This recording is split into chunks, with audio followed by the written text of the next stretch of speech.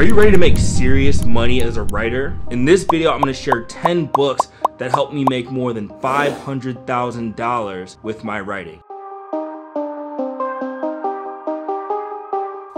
The first book is called $100 Million Offers by Alex Hormozi. And this book teaches you how to properly package your products and services so that people wanna buy them.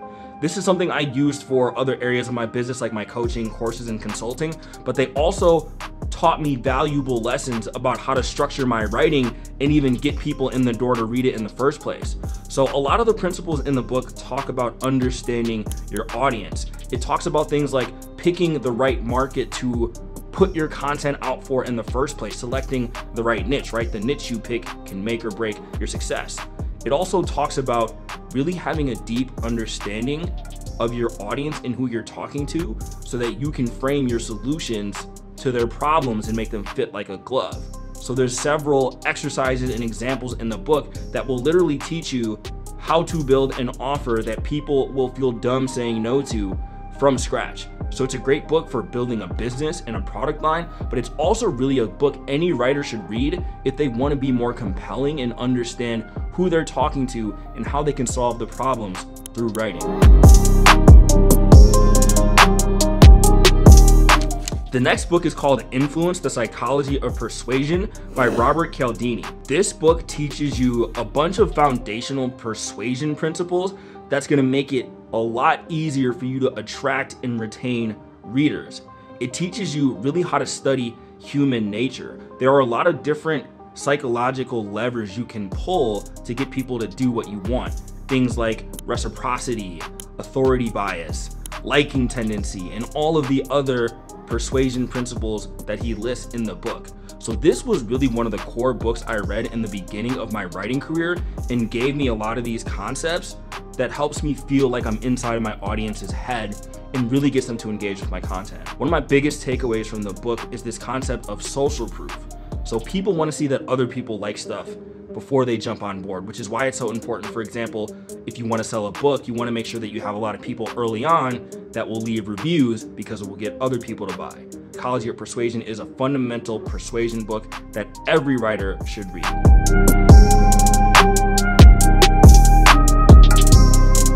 The next book on the list is called On Writing by William Zinsser. On Writing is, in my opinion, the best nonfiction writing book that you could find. It gives you every single tool you need to write clear and compelling content for your readers. One of the biggest issues with writers is that they have too much fluff in their content and they need to learn how to edit it down and leave the leave the readers with just the things they need to know. So on writing, goes through and shows you so many different tips and tricks. I remember I was reading the book and I was taking notes on it and it was like I was taking a note every other sentence because just like the book preaches, it left nothing but valuable words for you to read. So if you want to become a real deadly clear and compelling writer, that's the book for you.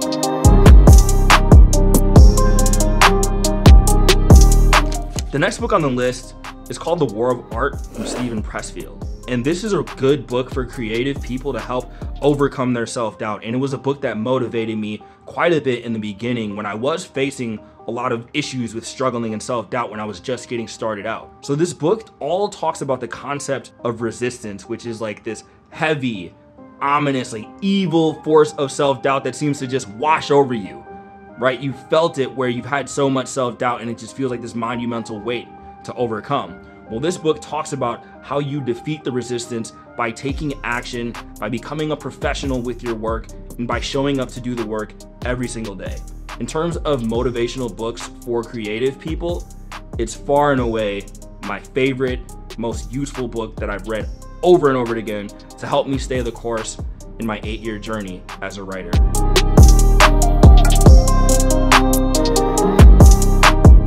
The next book on the list is Rich Dad Poor Dad by Robert Kiyosaki. Now, Rich Dad Poor Dad taught me the importance of building assets that pay you over and over again after you make them once. It also taught me the importance of leveraging myself instead of just trading time for money.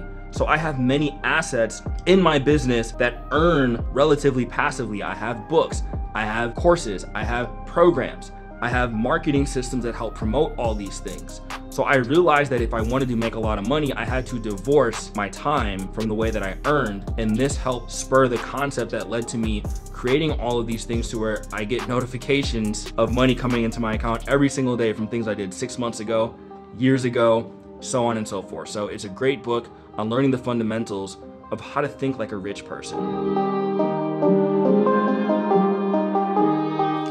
The next book is called Contagious by Jonah Berger. And this book taught me how to come up with ideas for content that really stuck and resonated with people. It taught me a lot of important concepts of how to get my content shared. So one of my favorite takeaways from the book is this idea of social currency. Basically, you want to create content that makes other people look good for sharing it. So you want to make them feel smart for sharing your stuff. You want to make your content seem exclusive and like if they're sharing it, they're in the know. You want to make them feel a part of that little club. So he has an entire framework that he walks through with different ways to create ideas that you don't just have to promote all on your own, that they're so good that they will spread on their own and people will talk about your content and you'll get views and engagement all from word of mouth. The next book is called Steal Like an Artist by Austin Kleon. And this book taught me how to borrow ideas from several people and remix them in my own words.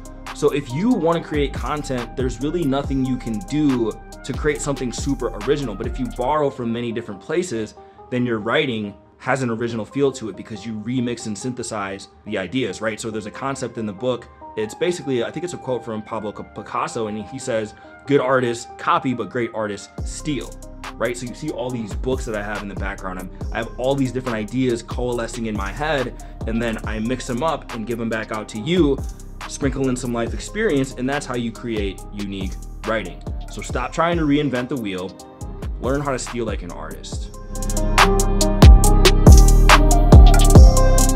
The next book is called Expert Secrets by Russell Brunson. And this book taught me how to position myself as an expert and find a tribe of like-minded people who I could share my ideas with and ultimately turn my writing into a full-time business. A lot of writers struggle with the idea of being an expert, which is why they don't feel they have anything to share. But this book goes through and takes an inventory of the things you've been through, the things you've learned, the things you could turn into an expert business, and you could build your writing around those ideas. It teaches you not just how to like build an audience, but to really start a movement of people who all have similar goals so you can have that energy and engagement and creativity that it really takes to build the sort of audience it takes to make the amount of cash that myself and other top writers have been able to make. The next book is called Building a Story Brand by Donald Miller. This book walks you through the process of educating your audience and eventually getting them to engage and buy with you through the power of storytelling. So it talks about how it is you can shape your story and tell people where you went from where you started in order to help them see the vision. And then it also shows you how to walk them through their own story arc to eventually lead through success via your writing. So it talks about how to basically put your audience through that hero's journey and build their confidence up and lead them to that outcome that they're really looking for, that dream outcome. And the last book on the list is Relentless by Tim Grover. This is a book about how to have the relentless attitude it takes to put in a ton of work and succeed. So it talks about how to be the type of person who sets goals, goes after them, does everything possible to succeed. And then once they hit that goal, they just move on to the next highest mountain.